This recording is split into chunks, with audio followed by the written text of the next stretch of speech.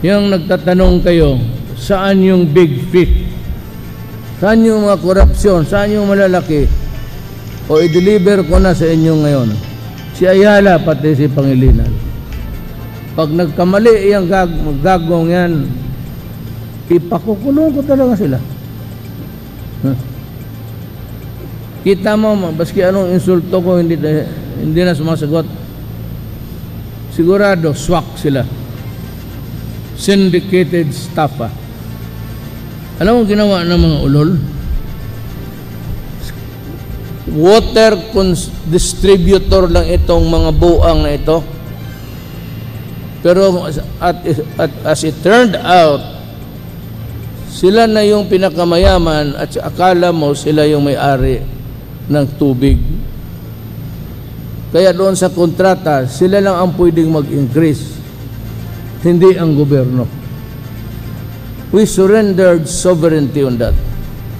Because sa, sa kontrata binigyan niya, ang tubig is just a commodity.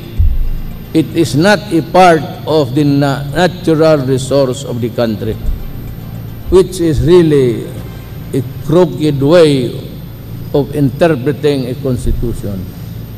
Nandoon yan. Tapos kanilang corporate tax, instead of giving it to government, ipasa nila sa consumer.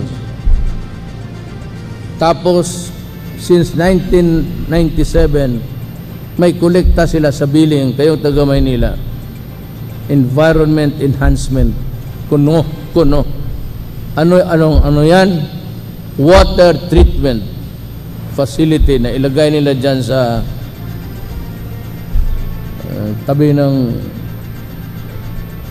Harrison, Harrison dyan, dyan banda. Hanggang ngayon, wala. Sige sila kolekta. Trilyon na yun, 1997 until now. Walang water treatment. Ngayon, pag malugi sila na sa kontrata, bayaran natin sila. Lalo na kung madelay ang increase na gusto nila.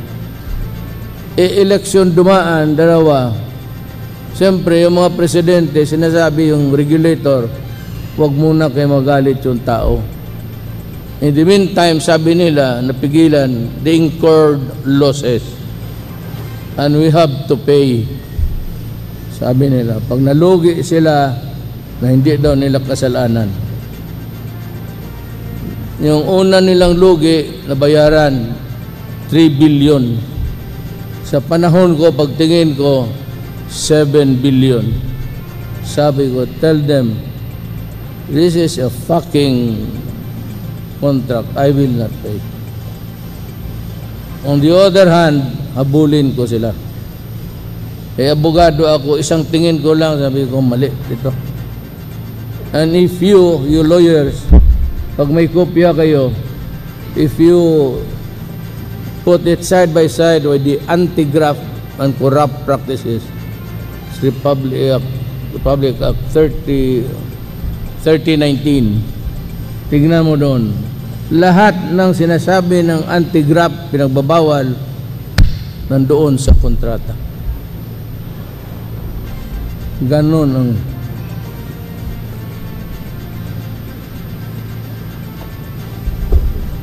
Kaya ito, last chat ko ito sa buhay ko.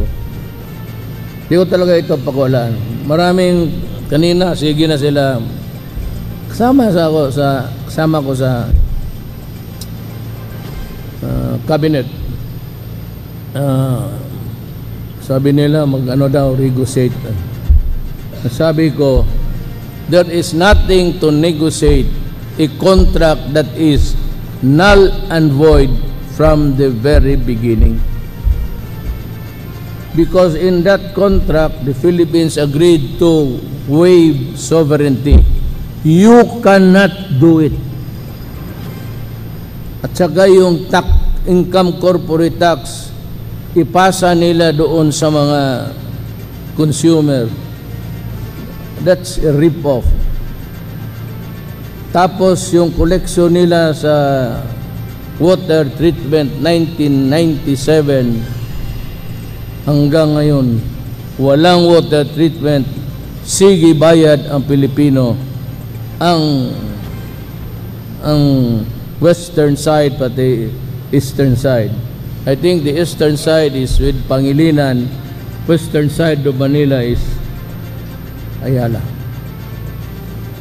Yon ang nangyari sa atin talagang tinago nilang yung contract na yan. Alam mo kung ano ang dahilan? Bakit ko na naamoy? Nandito ako sa Davao. Sabi nila walang tubig. Pinahirapan nila ng tao limang araw walang tubig. Tapos nagtawag ako. Tawag ako sa isang tao. Sabi niya may tubig.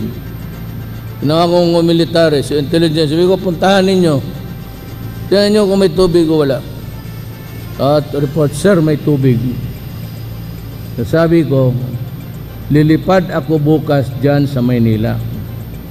Pag wala pa tubig na tumulo dyan sa faucet na yan, pagsasampalin ko kayo lahat sa harap ng tao.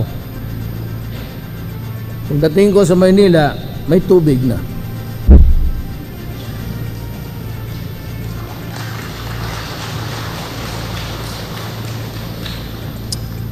Kaya sabi ko, kalukuhan ito. Pinaglarawan tayo ng mga mayaman. Sabi ko nga noon sa inyo, dito, sabi ko, naglaro lang ako ng kamay ko, corruption. Itong corruption, sabi ko, pinakamalaki ito sa itaas.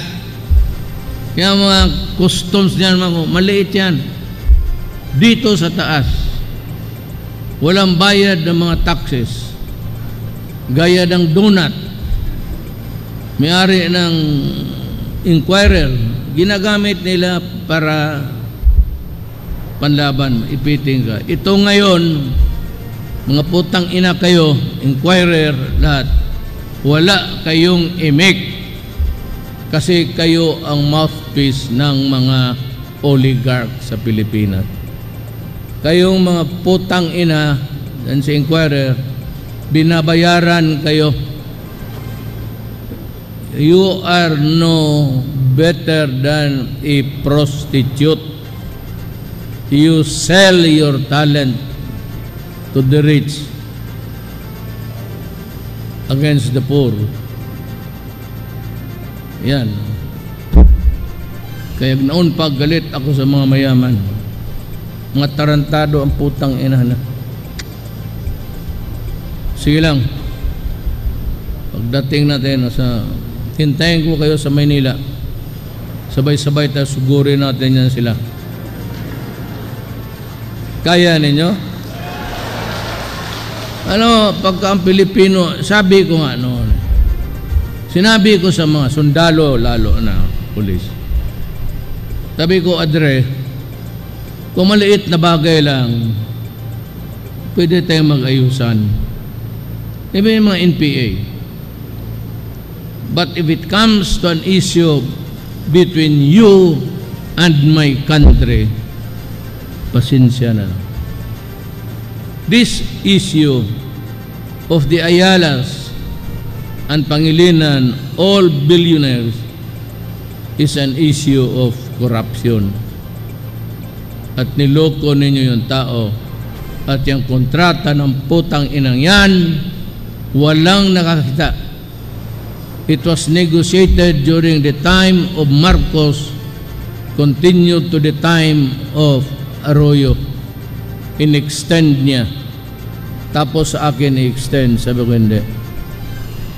Sabi nila na you threaten us na putulin yung tubig. Do not do that. Why? I will arrest all of you for syndicated stapa or plunder. Arestuhin ko talaga kayo. Maniwala kayo, gusto kong bilyonaryo makita sa kulungan.